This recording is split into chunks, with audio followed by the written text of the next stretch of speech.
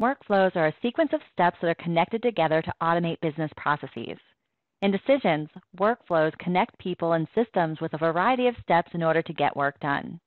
These steps can be interconnected to automate common business processes from assigning a task, getting an approval, sending an email, or even communicating with a database. The Decisions Workflow Designer allows users to easily build a workflow in a no-code drag and drop environment. Every workflow begins with a start step and ends with at least one end step.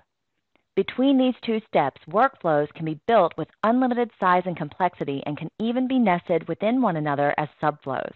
Steps can be added to a workflow by simply dragging and dropping it from the Steps tab onto the workspace.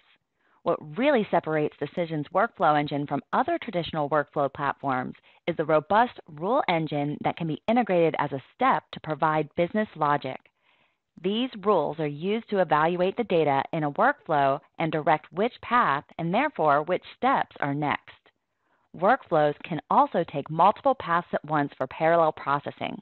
Steps can be added and rearranged to customize the workflow to your liking, and more steps can be added by simply dragging the arrow and dropping it into some blank space and choosing a step from the menu that appears.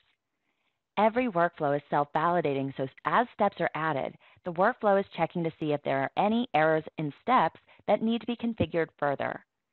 In this example, there are validation errors on both send email steps. You'll see an icon at the bottom that states which steps have issues and what those issues might be. Once configurations are set in the Properties panel for that step, such as determining if the body of the email is a constant or if it's going to come from a previous step in the workflow, for instance, the workflow can then be tested in a simulation mode called the Workflow Debugger. The debugger allows the workflow to run in order to see the path the workflow took, as well as the data present at each step in the workflow and any errors that may occur. In this example, it states that there was an error during the send email step that was not configured previously and still had validation errors. Overall, no matter what you are trying to accomplish, Decisions seamlessly integrates workflows and rules to solve your business problems.